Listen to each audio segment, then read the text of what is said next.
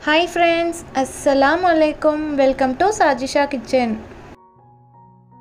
இன்றைக்கி சேனலில் நம்மளோட டெய்லி லைஃப் வேலைகளை கஷ்டமே இல்லாமல் ரொம்பவே ஈஸியாக செய்கிறதுக்கான டிப்ஸ் தான் பார்க்க போகிறோம் அது மட்டும் இல்லாமல் இப்போ மழைக்காலங்கிறதுனால நம்ம எல்லாருமே ஃபேஸ் பண்ணுற ஒரு ப்ராப்ளம் வந்து துணிக்காய போடுறது தான் அதுக்கான ஈஸியான டிப்ஸும் நான் வீடியோவில் சொல்லியிருக்கேன். ஸோ வீடியோ ஸ்கிப் பண்ணாமல் ஃபுல்லாக பாருங்கள்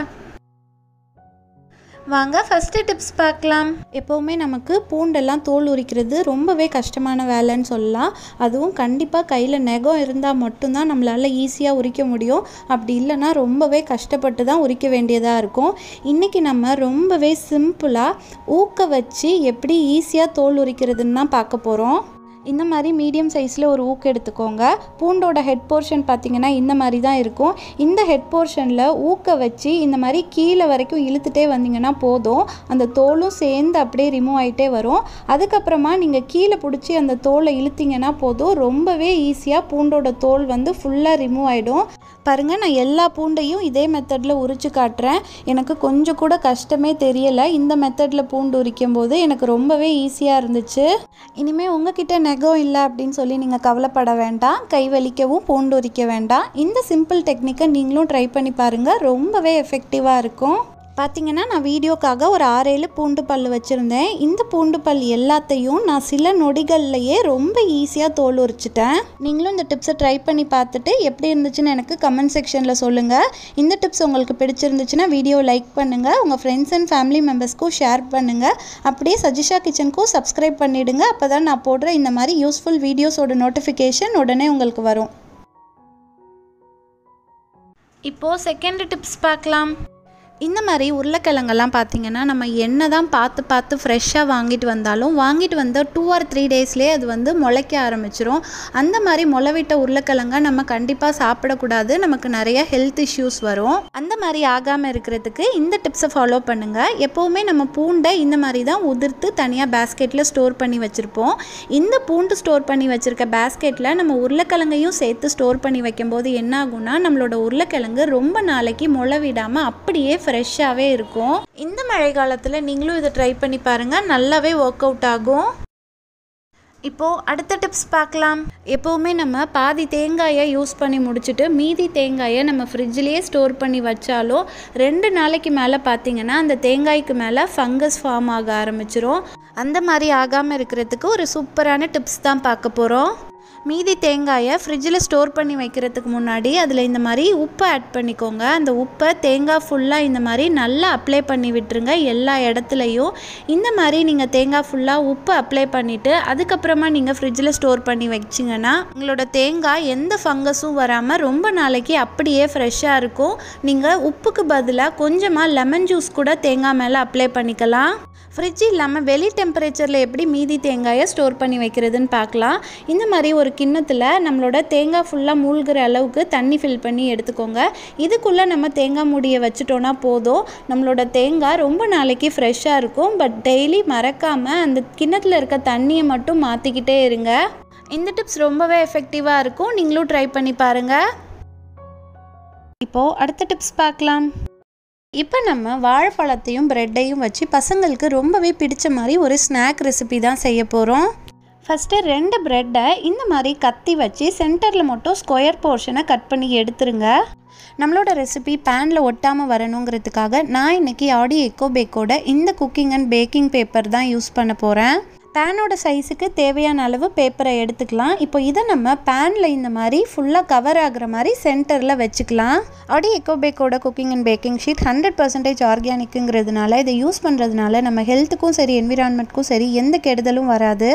இப்போ ஒரு கிண்ணத்தில் ஒரு முட்டையை உடச்சி ஊற்றிக்கலாம் இது கூடவே நம்ம ஒரு ஸ்பூன் ப்ரௌன் சுகர் போட்டுட்டு ஒரு விஸ்க் வச்சு அந்த சுகர் எல்லாம் கரையிற வரைக்கும் நல்லா நுரப்பொங்க. இந்த மாதிரி அடித்து எடுத்துக்கலாம்.